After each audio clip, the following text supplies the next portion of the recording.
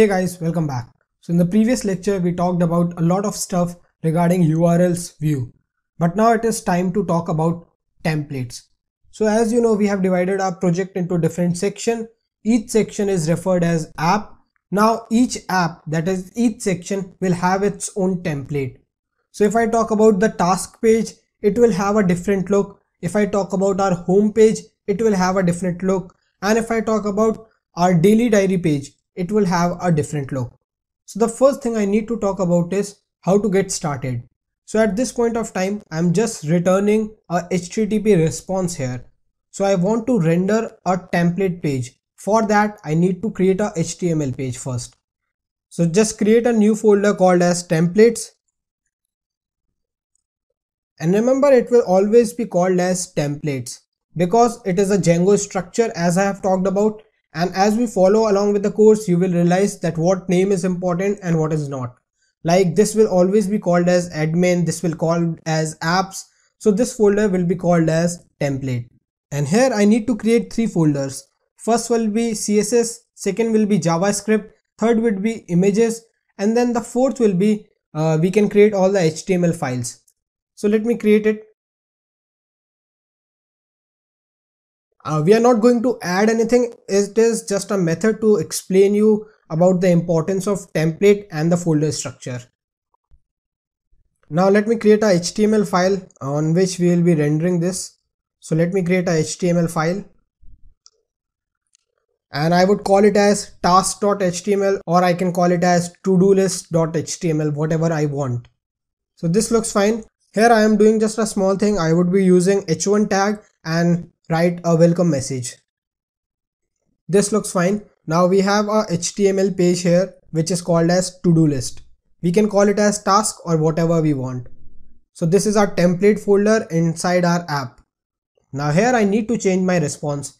So instead of HTTP response, I would be trying to render my template. So I would be using render and I need to pass my request and then my HTML page and then if I need to send any content. At currently I'm just sending request as well as template and my content would be empty. So content would always be accessed in the form of dictionary. Let us keep it empty for now and understand our template part. So this looks fine. Now we have changed this one. Let me run my server and check my task page.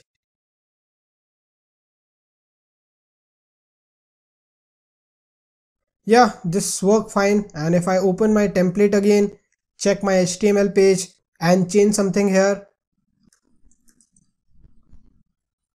Save this one come back here and refresh. You would see it's working fine. So now I am able to connect with my templates as well as my HTML page. Now think it as a project way. Now each app will have certain files that is related to them only. Like if I talk about these files these are related to only this particular app. I have talked about templates. This is related to this particular app. Now in future if we create more apps, we need to perform similar step. We need to create a template folder for that particular app. Now here is a catch. There would be some common files. Common files like there would be some common images, there would be some common structure. So if I talk about amazon.com, you would see there is some common structure even if there are different application like if I open the gift card section if I open the seller section you would see there is a common header which is common for all. So there are different application but this header is common.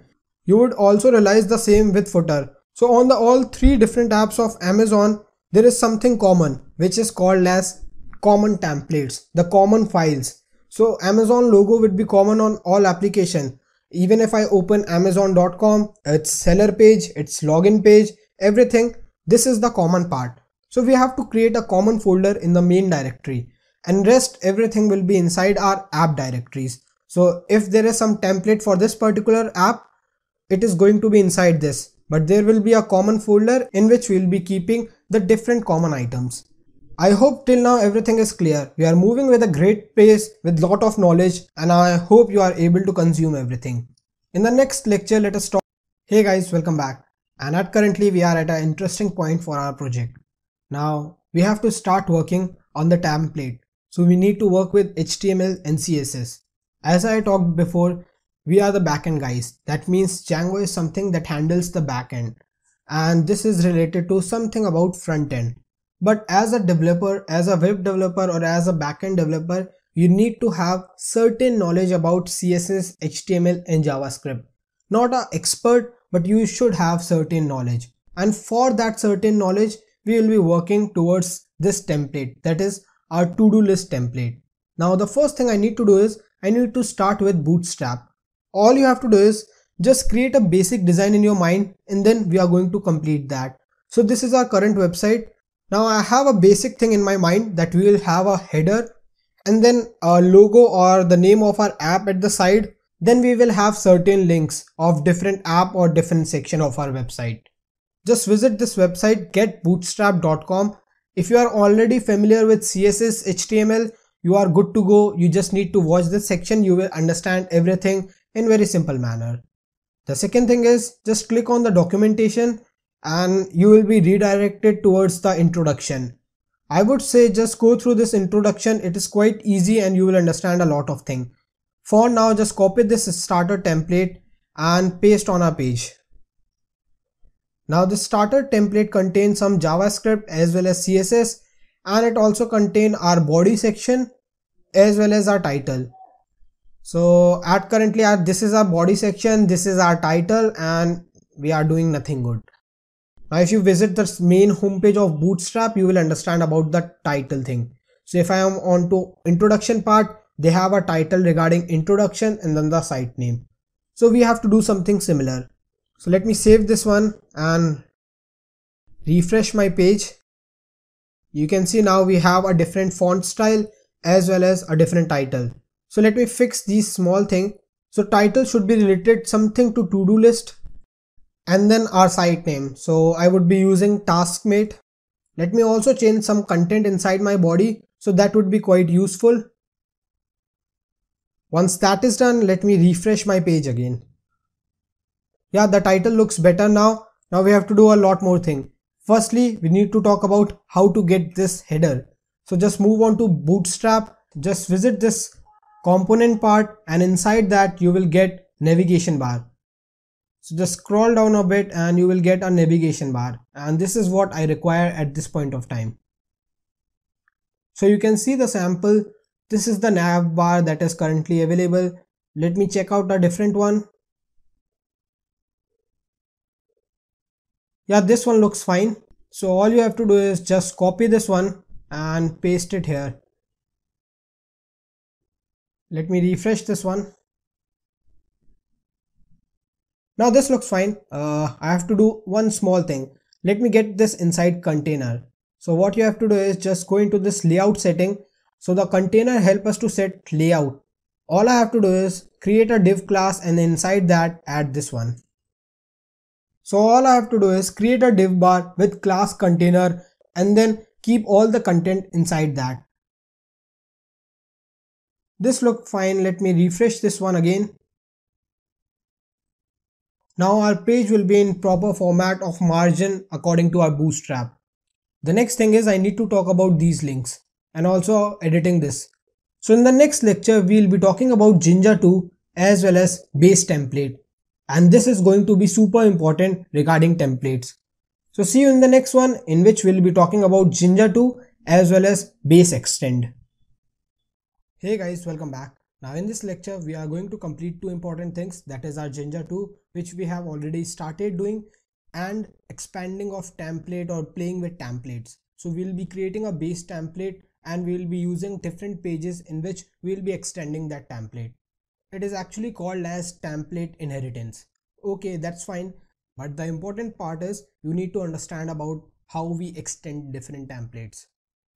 The first thing I'm going to do is I'm going to create multiple HTML pages. So I can extend that is I can inherit different content on different pages. So what I'm going to do is so in my templates I'm going to add a contact us HTML page and also a about us.html. So these two will be dummy pages. I'm just adding them so I can talk about different concepts. I will also replicate content from to-do list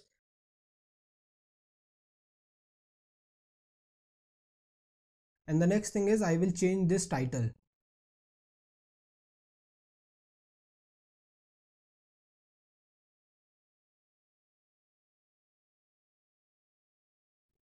This looks fine to me so we have our HTML ready. I also need to add my URLs as well as view. What I am going to do is I am going to use contact. The second one I would be using as about. This looks fine. Remember these two are dummy. I'm just trying to show you some concept and how things are going to work with Jinja as well as our templating. Now I need to add views for both of them let me copy paste them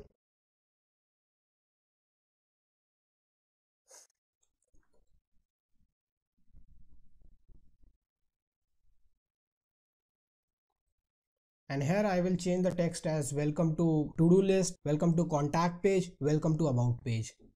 This looks fine. Now we have three links, we have three views and we have three different pages. Okay, let me run my server Hey, you can see we haven't got any error, but if I jump onto my website, now this is to-do list working fine. Let me open my contact. This works fine. Let me also open my about us. This also work fine. But uh, what if I need to edit this link? I need to do them on all the pages. But this is the same content why I'm doing on all the pages. There should be some method by which I can create a base file store every common task there and here I just need to keep the unique content which is this. On all three pages everything is common just this line is different. Why not create a single base file? Here even if I need to edit something here I need to do on all three files. And that's the important part I was talking about. Here I need to add a new link for about us. I have to replicate this line on all three pages which is a lengthy manual task and if you think of big application this is currently just a three pages we are talking about think about amazon. Think about some 10 20 50 100 page application. This type of manual task is actually lengthy. So what we are going to do is we are going to create a base template. For that we will be creating a template folder in our project file. That is our root project.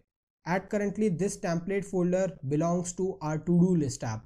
But we will be creating a new template file inside our base folder called as templates inside that we will be storing all the common html file images css and javascript. So just create a new folder called templates. And this is going to store all the base html file from which we can just inherit this common content. So let me create a base.html here.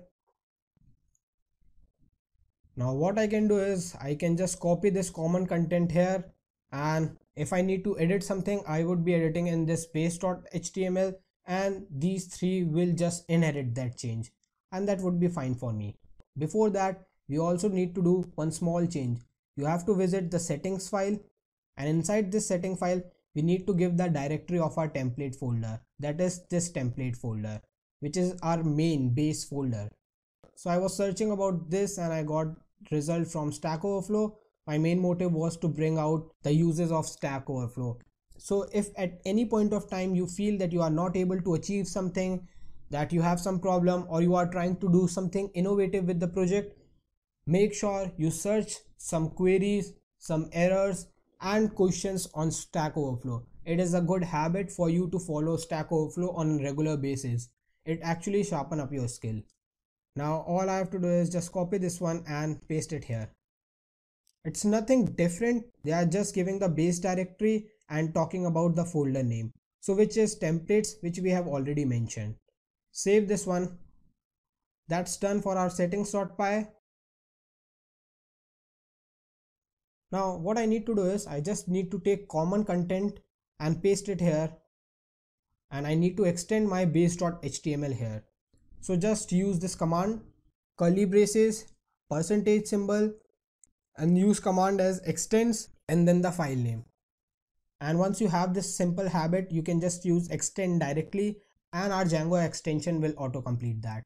Here you just need to give base.html now this looks fine and if I go to my to-do list task manager and it's working fine. Here you see I have a mistake with manager. Let me fix here.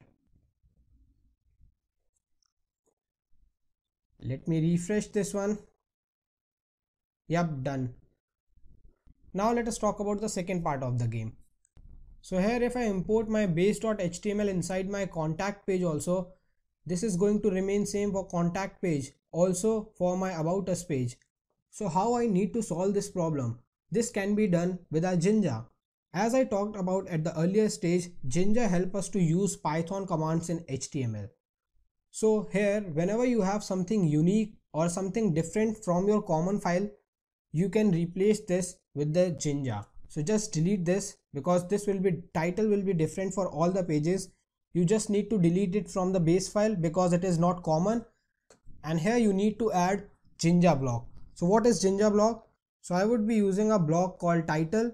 Just give a name title. Now this block indicates that on base.html there will be some content from these three pages which is named as title. And if I want to insert something between these block all I have to do is just mention that content here. So I just need to mention block title here. Now between this block title, everything I am going to write will be replaced here so just write me a title for this particular HTML page. So that would be to-do list manager. Now I need to replicate same for my contact us and about us.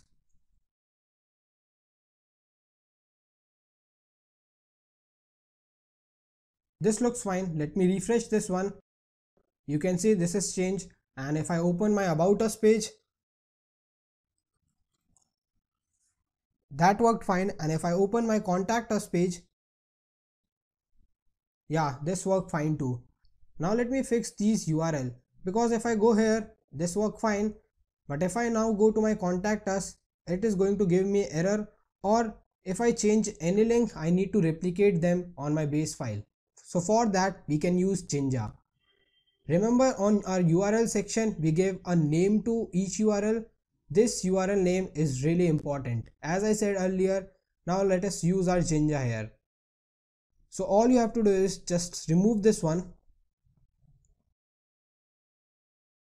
Just use URL and then mention the name of that particular URL. And the name is to-do list. I also need to repeat the same for contact us page. And same will be followed with about us. Now the problem is sorted. We don't have to worry much. It is dynamic. Every time we have to change anything, it would be directly with our URLs and views. Uh, let me refresh this one. Go to my about. Go to my contact us. Go to my to-do list. That worked fine. And if I change anything here, maybe I change it from about to about us. I don't have to change on base.html because it is dependent on this name. So now the link is changed, but we don't have to worry. So if I just refresh this one, so if I go to my about us now, you see it's working fine and we don't have to worry because this is dependent on this particular name. So that's how our templating inheritance work. That's how our Jinja works. And it is really important for us to understand. Now the second thing is body will be different for all the pages. For that we will be using another block of code so here we will be creating a block called content. So all you have to do is create a block and that would solve lot of problem. So just copy this block and mention the content of this block into different HTML pages. Here let me use my content which is welcome text. Copy this on every page.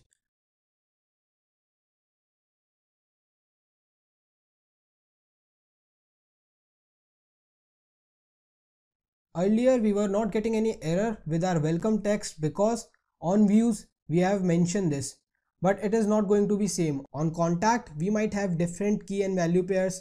On about us we might have different key and value pair. So this is going to give error if I change my view now. So if I refresh this one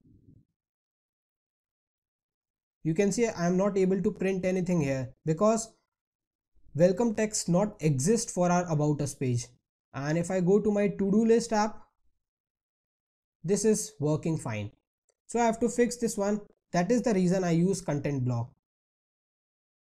Now it would be fine if I use contact text here and about text here. This looks fine. Let me run this one. Go to my contact us page about us page. Yeah that's fine. So we have three pages in our template now. Also we have a base template and we have used Jinja 2 properly in our application. So we are going good with our project. That's done for our first half. That means we are ready with our base and now we can tackle Django very well. The next thing we have to do is let us start building our application properly with databases. We'll be talking about models, databases, ORM and a lot more thing because we have cleared one good small path which is accepting requests, URL mapping, controlling views, controlling templates and working with the flow. That's all for this video. In the next video, let us talk about models and databases. Thank you for following this lecture. See you in the next one. Hey guys, welcome back. Now before moving forward to our models, migration, databases as well as admin section, we need to talk about something really important. So we will be talking about two points in this lecture. The first one will be our static folder which contain our CSS, JavaScript as well as images. The second will be our current website look. So if you look at our website currently, I want this to be a more attractive one. So we'll be doing small changes. What I'm going to do is I'm going to use this particular navigation bar. I was surfing throughout the bootstrap and thought this would be a nice look. So we'll be changing our navigation bar. And the second thing is we'll be using static folder. So earlier I talked about templates. I talked about all the HTML files, but here we'll be using a separate static folder. I'm going to delete these three folders that is our CSS, images and JavaScript here and I will be creating a different static folder and inside that static folder I'm going to store my CSS, images and JavaScript. Why? Because it is a good practice and I thought this is the right lecture to talk about this. To use any static file we need to mention that in our settings folder. We will be doing that in a minute. But before that we need to talk about what we are going to change in this page. So we will be changing our theme from light to dark and the second one is I'm going to use a logo. For that we'll be using a static image. That's where we need our static folder. I hope you got that point. So at first just open your base.html and change your theme from light to dark. All you have to do is change your light term to your dark term. Let me check this one. This looks fine and now I need to use an image here. Before that I need to get a logo and I have already created that. I would be adding that in the resource section and now I need to store that logo in our directory. So for that I need to create a directory. So let me close all these and create a static folder on your root directory. Remember your root directory which we have followed for template. Once your static folder is created, now create all the three folders, your JavaScript, your CSS and images because all the files which we contain in these three folders would be considered as static files. Once that is done, now you need to register the static folder in the sense you need to tell our Django project in the settings file that this is my static folder. This folder is going to store all my static files. All you have to do is just go to your project folder, go inside the setting and at the last you just need to mention the directory. All you have to do is just mention the directory your static files underscore dirs that is your directory and then you have to pass a list and inside the list you have to provide your particular directory name. We have followed the same while our template folder. So all you have to do is use your os.path.join and then your base directory and then the folder name in which you are storing your static file. Remember, if you are storing your static file inside templates, just mention template here. If you are using a different folder that is static folder, just mention static folder. Different programming teams follows different culture. So some teams follows all the file inside template folder and some teams divide into two part that is all the HTML files inside template and all the images, CSS and JavaScript inside our static folder. So you'll be following that. So all you have to do is just mention this and save your file that's done. Now one thing I need to do is I just need to delete these three folder. This looks fine. Now I need to add my image that is my logo for my website inside my image folder. So I need to get a logo for this. Let me copy my logo inside that folder. That's done. Now you can see that we have our logo. Now this looks fine. The next thing I need to do is I need to change my base.html. So I need to remove my website name and add a image tag here that is img and then I need to pass my image name. So just use your img tag and here I need to pass my image link. For that we just directly need to use our Jinja command. All you have to do is just use your curly braces, percentage, static and then inside that we need to pass our images slash and then the image name. That is our logo.png. Once that is done, let me check our website. So we got an error because we forgot to load our static. So what is this load means? So whenever we are going to use this static command anytime in our HTML file, we need to mention static load at the top of our file. So all you have to do is just use load that is this command and we are good to go. Let me refresh this one. Yeah, this looks fine. So now we have our website logo and all our links are working. Let me do one small change also. Let me use my to-do list link for our home currently. Later we will be changing that. So I hope now you understand about the static folder. So all you have to do is just create a static folder in the root directory, create three folders that is CSS, images, JavaScript. Then register this folder into settings.py. Once that is done, just go to your base directory, mention the static tag wherever you want to use your css javascript or images and then also don't forget to mention your load command so this would be fine and now you are able to use any static file with your project i hope this lecture was helpful. See you in the next one